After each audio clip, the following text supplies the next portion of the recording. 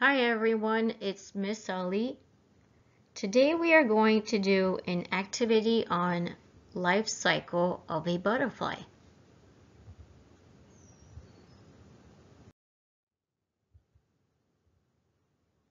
For today's activity, we will need a book, paper, pencil, glue,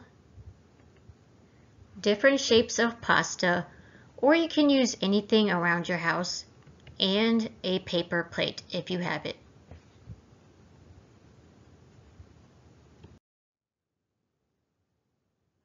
Parents, read the book titled A Butterfly's Life Cycle by Mary Dunn, available on myON, or you can read any other book about butterflies.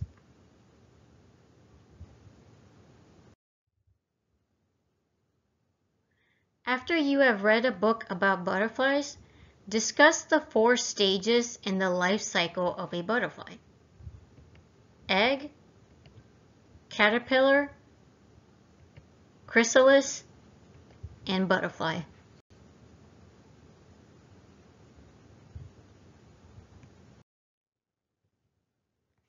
On a piece of paper or a paper plate, Create the life cycle of a butterfly using either different shapes of pasta or anything around your house to represent stages.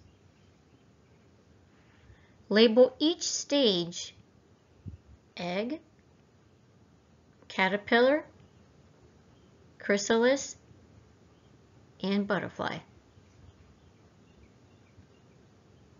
Once your child completes the activity, parents Send a picture of the completed activity to your child's teacher. Bye everyone.